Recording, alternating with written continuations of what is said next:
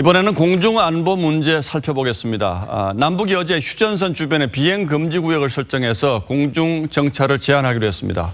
그 영역은 군사 분계선 남북 각각 40km까지입니다.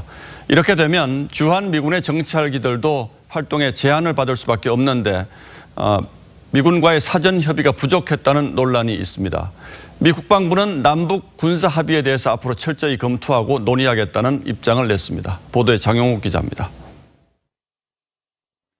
남북이 군사분계선에서 9.3km였던 비행 금지 구역을 최대 40km까지 늘리기로 하면서 우리 군의 금강 전찰기와 백두 정찰기, RF-16 정찰기는 물론 주한미군의 글로벌 호크와 유트 등도 해당 구역 내 진입이 금지됩니다.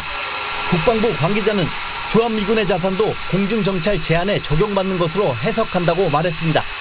이 관계자는 미군도 원칙적으로 반대할 수 없을 것이라면서도 주한미군 측에서 생각하는 요소를 반영해달라고 해 협의 중이라고 말했습니다. 협의를 마치지 않았고 미군 측이 원한 요소를 충분히 반영하지 않았다는 뜻입니다. 주한미군 측도 사전 조율이 부족했다는 취지로 말했습니다.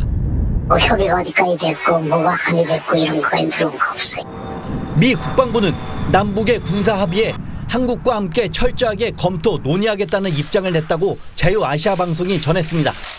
동맹국의 결정에는 환영한다는 논평을 내는 게 일반적입니다.